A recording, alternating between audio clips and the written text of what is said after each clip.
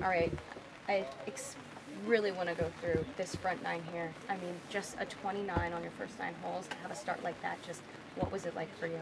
Uh, yeah, the front nine was a lot of fun. I was really enjoying myself out there. Uh, I felt like uh, I was doing everything properly. You know, I was hitting a lot of fairways, a lot of greens, giving myself good looks, and then I made a couple of really long putts, uh, which was really a bonus. But yeah, the front nine was really great, and you know, unfortunate to drop a few shots in the back nine, but I guess that makes it a major championship. You know, this course can jump up at any time, so you just kind of have to, you know, stay patient. And it was nice to get a birdie on 15 uh, to get one shot back. That was nice. Just thinking of the start that you had, you've said, you know, the game is close, that you've been working through that up and down stretch. To have a start like that, just how satisfying does it feel when all the pieces are clicking?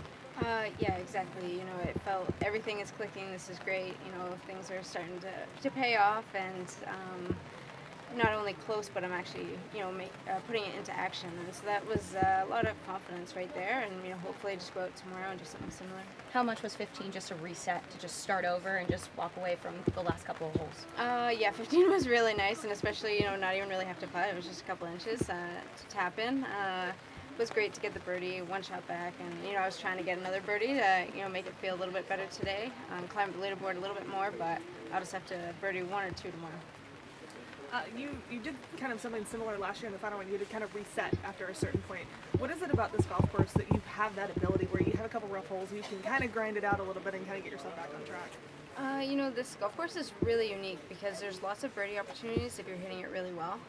Um, if you're not hitting it well, it's a grind and um, you're making bogeys. So it's kind of uh, when things are going well, you can really capitalize and you can really move up. Um, when things are not going well, um, you really just got to be gritty um, and kind of be tough and, and try to get shots back later on in the round. I mean, how have you learned to be able to do that? I feel like that's something maybe younger Brooke may not have done as well, but now you've really kind of got that poise where you can kind of go, okay, double bogey, whatever, make a birdie, we'll get things back on track. Well, thanks. Um, yeah, I feel like that's what every golfer's kind of working towards, trying to figure that out. Um, and some days it's much easier than others.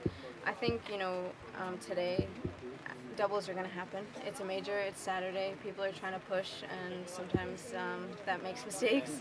Um, and, you know, this golf course is just hard sometimes, so, you know, doubles, bogeys, they're going to happen, but you just kind of try to shake it off best you can and try to make some birdies. I know you're a player that likes to chase heading into tomorrow, heading into tomorrow with past history here, what's it going to be like chasing for you? Are you just going to attack, go for it, nothing to lose?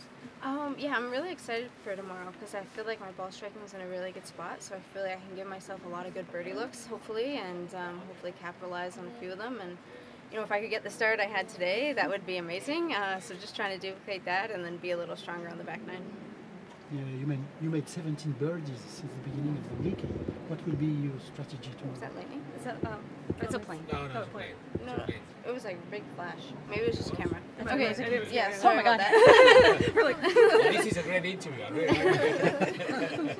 I like your face now. So 17 birdies uh, since the beginning of the week. What will be your strategy tomorrow?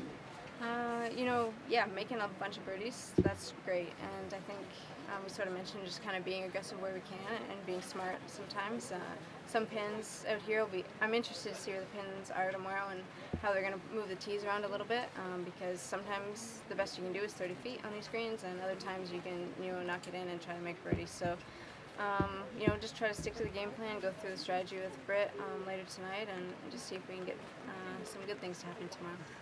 Thank you, bro. Thank you. Good to see you.